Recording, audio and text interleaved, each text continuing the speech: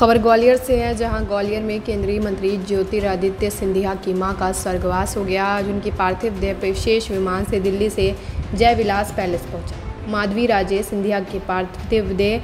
Ambulance में सवार माधवी राजे के पार्थिव देह के साथ बेटे केंद्रीय मंत्री ज्योतिरादित्य सिंधिया बहु प्रियदर्शनी राजे, बेटी चित्रांगदा सिंह और पौत्र महान आर्यमन जयविलास पैलेस पहुँचने पर उपस्थित भीड़ ने राजमाता अमर रहे के नारे लगाए। पैलेस के अंदर बाहर मौजूद बड़ी संख्या में लोग पैलेस के मुख्य द्वार पर पार्थिव देह रखा गया।